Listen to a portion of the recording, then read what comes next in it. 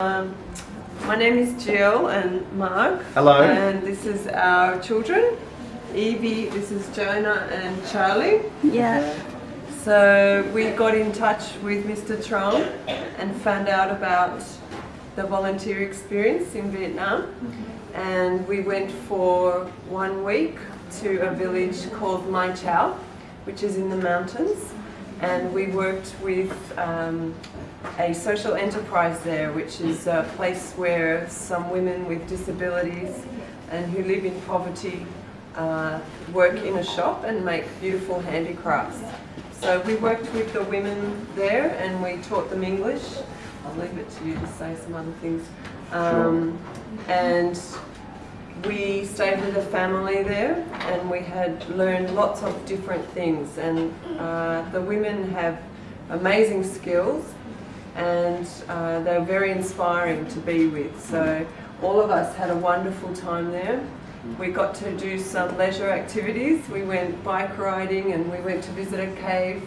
We had beautiful food and we were very well looked after. And Mr. Trong arranged the transport to get to Mai Chau and the accommodation and we didn't have to worry about anything. So it was an amazing week and we have had a wonderful time in Vietnam, but our best time was at Mai Chau. Yeah. Mark? Yeah, sure. Yeah. Um, so we um, uh, in the village in Mai Chau, um, Charlie learned a lot about embroidery. So the, the, the social enterprise in Mai Chau was uh, called Hoa Ban. Hoa Ban, I think that's the correct Hoa Ban. pronunciation. Hoa Ban. And they make beautiful handicrafts and bags, and we bought some bags actually. So they're that, they're that good. And uh, it was fantastic learning about how they make their products. Um, Charlie and Evie were really interested in doing that. Um, do you want to say anything about that, Charlie, about the embroidery? Uh, but, you, but you made some terrific embroidery, um, and Evie learned some embroidery as well. And one of the great things to do was to spend time with the women teaching them English and talking about um, some skills that we take for granted in Australia, but that I think are useful for the women in English and talking to customers and helping customers in the shop. Um, and Jonah spent um, time with playing with the family and um, learning. What did you learn in, in your time, Jonah? Vietnamese numbers. Yeah, Vietnamese numbers. what's number? What's 50, Jonah? Do you know 50? That's good. And who knows what hello is in Vietnamese?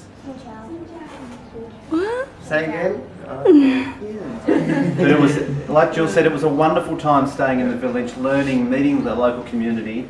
And one of the great things about, um, you know, we've been staying in Hanoi and a few other places in Vietnam, and it's been a terrific time. But the difference in living in a village is that you get to meet people you don't meet in staying in hotels and on normal holiday. Yeah. So you build relationships with people and understand them and have lots of fun and laughs with people that you don't normally get. And that's an experience that you can't, you know, it's, it's a great experience. So we're very grateful for VEO for setting us up.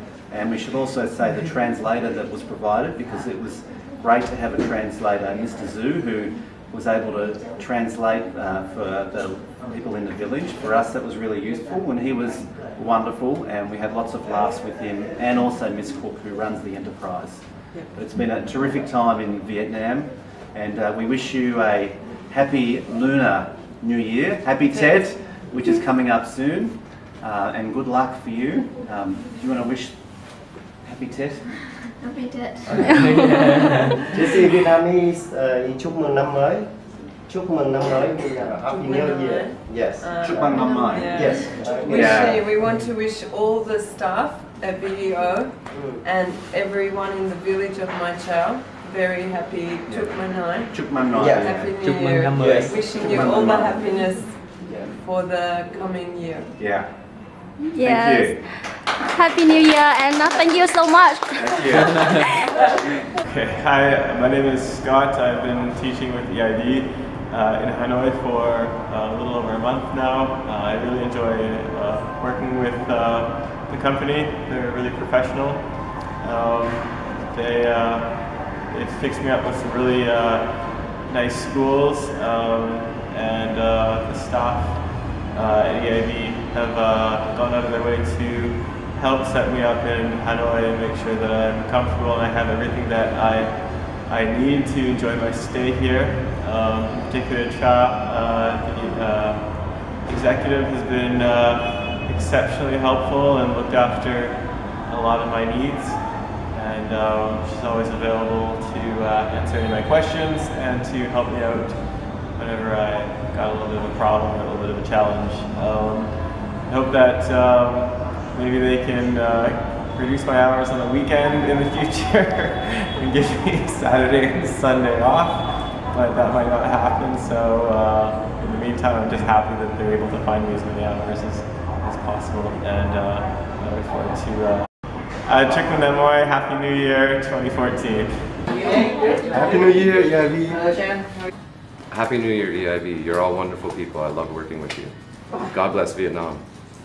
Hello, wish everyone happy new year and Tet. Uh, I wish everyone good health, uh, prosperity and good luck in the new upcoming year and um, all the best.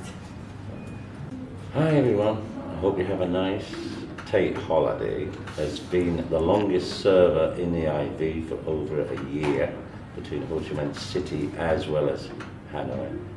I wish you all the best and all your dreams come true in your Tate holiday. So all the best from me from Scotland.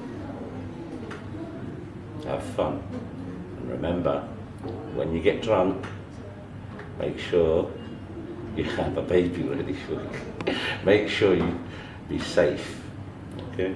And don't be stupid. And do not drive and drink, but have fun.